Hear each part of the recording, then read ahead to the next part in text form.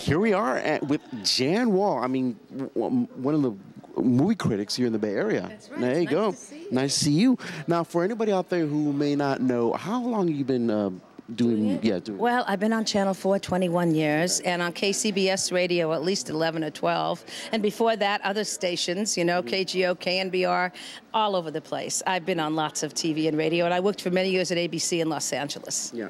Well, that be that that must be one of the greatest gigs to you know to just get paid to watch movies.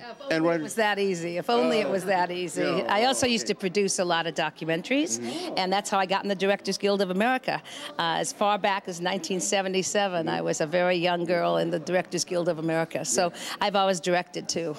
And uh, we talked off camera, for, uh, um, and I told you that you did a you did a TV show on uh, on Bay TV. Oh, yeah. Um, and um, of course, what what was it like? Uh, you know, like doing a TV show like that, especially when you had call-ins. You had people calling in, and, and I and I called in a couple of times. Thank you, thank you. It's my favorite thing to have people call in. That's my favorite thing to do to just talk to the public, uh, see what the what how showbiz is affecting them, touching them, upsetting them, you know, disgusting them. Uh, it's really fun to deal with the public. It's a blast. Now, I want to ask you a question. Um, have you ever been caught in a predicament where you've interviewed somebody who you did not necessarily like their movie? And you had to confront them, and they knew about it. I mean, what what was it like to be in the hot seat? Yeah, all the time that's happened. That's happened a lot.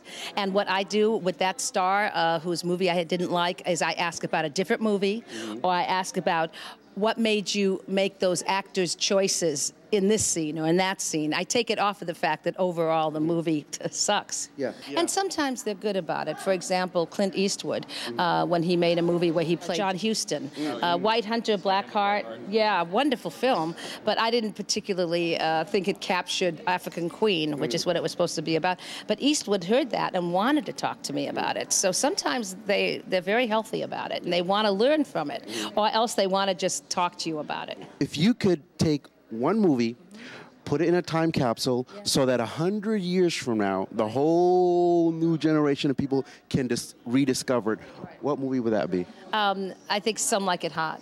Oh, I love that movie. I really love Some Like It Hot. I love that movie. Yeah. Me too. Me too. And it would be fun and upbeat and smart and musical and just perfect. Beautifully directed. And it's funny you should say that because I had the pleasure of meeting Tony Curtis, the late Tony Curtis, and I told him, "You are the luckiest man in the world because you got the kiss, Marilyn Monroe." And he looked at me and he said, "I sure did."